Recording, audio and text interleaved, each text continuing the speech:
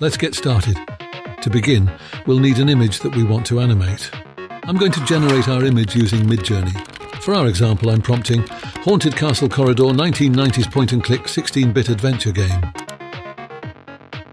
Perfect. Let's go with option 2.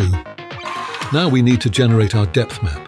I'm using Zoe Depth, which is a free option. I'll put the link in the video description. First, click here and choose your image. Next, scroll down and click Submit. After a few seconds, we can see our newly created depth map. Click here to download it to your computer. Let's jump into After Effects. Import both your image and your depth map. Create a new composition using your image. Next, pre-compose your image layer. We'll come back to it in a moment. Now add your depth map to your main composition and turn off its visibility.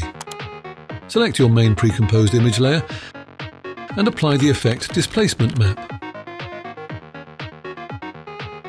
In the Displacement Map effect settings, change the map layer to your displacement map image.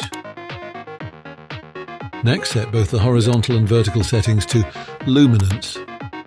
Now we can begin to play with the values for both max horizontal and max vertical displacement. You will quickly see that more extreme values can cause a tear in the image resulting in some nasty pixel issues. I'd suggest keeping the effect subtle for best results. Next, we'll simply place keyframes at the beginning and end of our animation and tweak the values until we get a nice fluid movement. Lastly, let's revisit our pre-composed main image. Double-click the main image pre-comp in the timeline. Now add an adjustment layer and the glow effect. In the glow effect controls, Alt-click or Option-click on Mac on the stopwatch next to glow intensity. We're going to use a very simple wiggle expression to add a little flicker to our scene's lighting.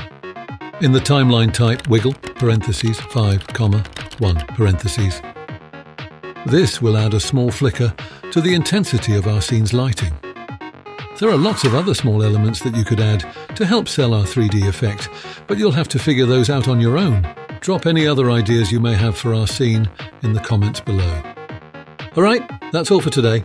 If you found this short video helpful, please take a moment to like the video and subscribe.